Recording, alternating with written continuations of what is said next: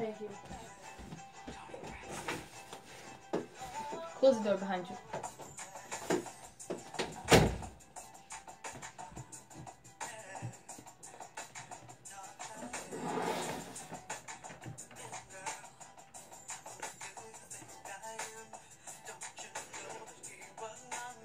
Anyhow, so today I'm going to be talking about the importance of focusing. Literally, focus. Have great focus and know that I'm capable of focusing. That is really important that I know that I'm capable of focusing. Focus and do what I have to do.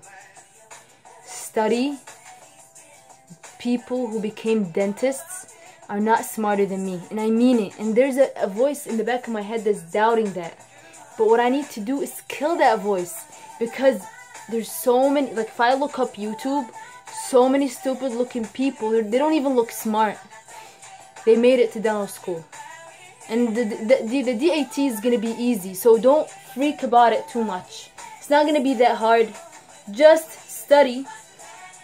Do what I can the rest is not up to me. So just know that I am doing my best. And if I know that I'm doing my best, I will actually perform good on the test. And this test, remember, is not going to be the same as the ACT. Also, very important when talking, here's the thing I have to realize that talking is really easy for me. Talking is extremely easy. How do I know that? Because I can talk for long periods of time and I can convey what I want to the other person. Alongside with that, I talking is really easy for me and I can literally smirk as as I'm talking.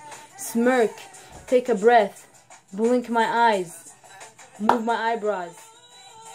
Do whatever I want as I'm talking. Talking isn't hard. And with that said, thank you so much.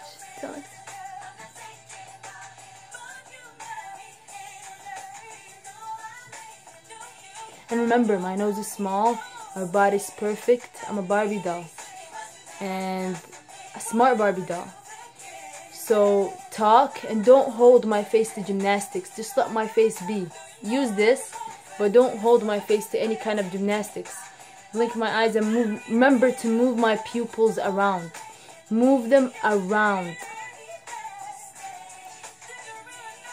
And speak very slow. Because what sounds like it's normal to me is extremely, extremely fast. And with that said, thank you, and until next time.